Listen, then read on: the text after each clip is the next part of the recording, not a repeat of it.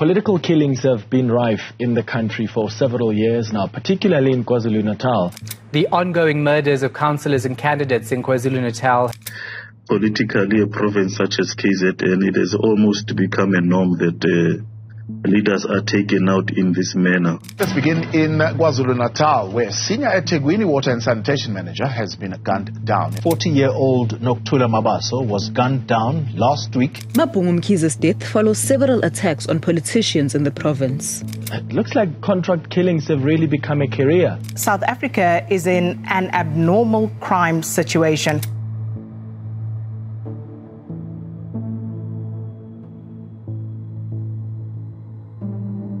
Contract killings are escalating in South Africa, especially in the volatile province of KZN, where trained assassins have been making their presence felt in the taxi industry across the political spectrum over tenders and jobs in municipalities and in other areas, such as business.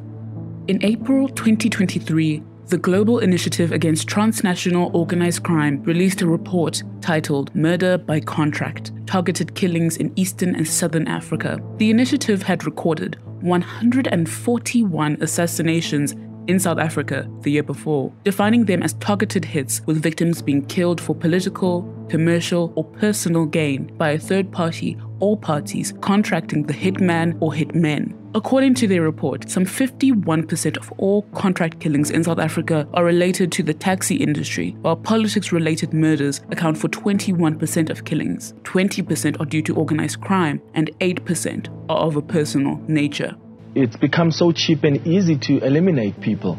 Uh, even the IFP mayor of, of uh, the district mayor of the IFP in the north said that um, instead of uh, procuring bodyguards, counselors would um, would contract inkabi or shooters or assassins to to not only guard them but to take care of to, to eliminate the, their opponents.